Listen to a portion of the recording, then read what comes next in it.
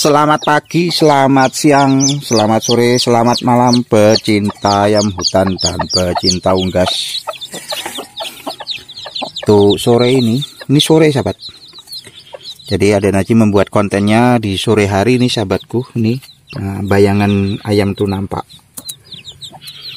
Dan di depan kamera ini ada dua induk sahabat keturunan ayam bangkok dan ayam kampung ya istilahnya seperti itu ya sahabat dibilang ayam bangkok hidup di kampung dibilang ayam kampung. Ya memang di kampung dia ini.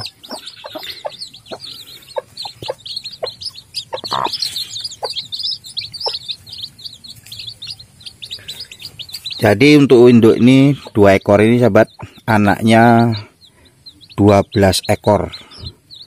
Dari induk dua ekor anaknya 12 ekor ini yang ada sekarang ini.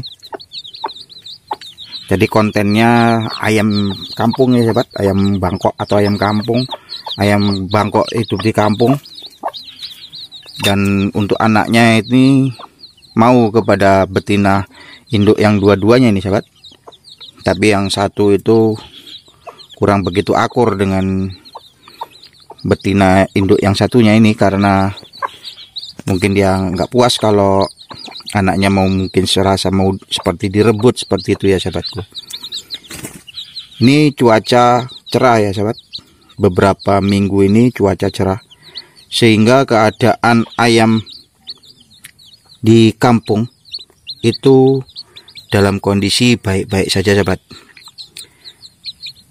Di berternak memelihara ayam di kampung pada saat cuaca kemarau itu lebih bagus untuk berkembang biak sahabat.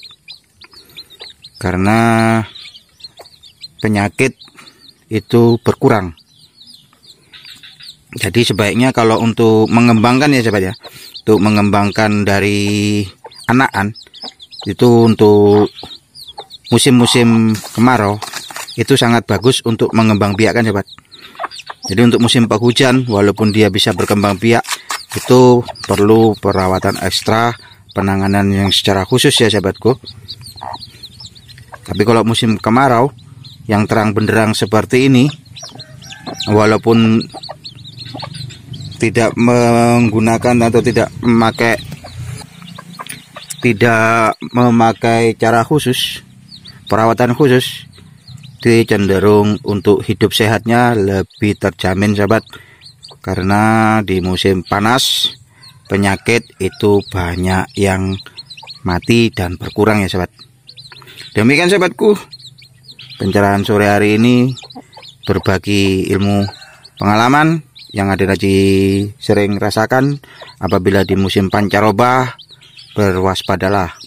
Untuk musim terang benderang cuaca yang cerah seperti musim kemarau untuk mengembang biakan dan merawat anak ayam hutan itu lebih mudah.